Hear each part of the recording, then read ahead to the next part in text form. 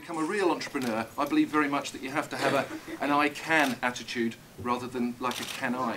Hello, I'm Peter Jones and I'm at Swanlea Business School um, and I'm launching with the Prime Minister today the National Enterprise Academy, which is something that I've dreamt about for two years. It's for 16 to 19 year olds. It will open its doors in September 2009 and it's going to be creating the new wave of entrepreneur in this country. It's going to be based around a mindset change that I believe needs to happen if we're going to get many, many more entrepreneurs and many more successful people in this country.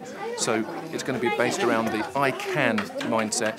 It's going to be very, very US based in its culture, but I think that that needs to happen in this country for all of us. And I think that hopefully, in years to come, the entrepreneurs that will come out of the National Enterprise Academy will create tens of thousands of jobs. And hundreds of students will be able to benefit from this new academy uh, in the next few years.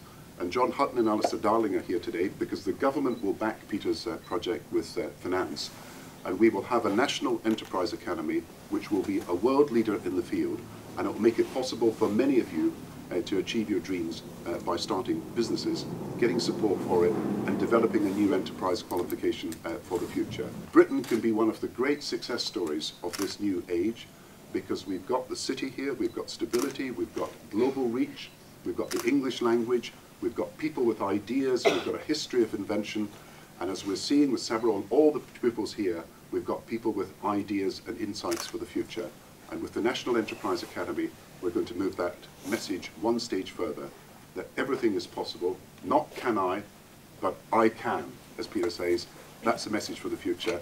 Now let's work at making Britain one of the great successes, and all of you can share in that success with the ideas and insights and proposals that you have.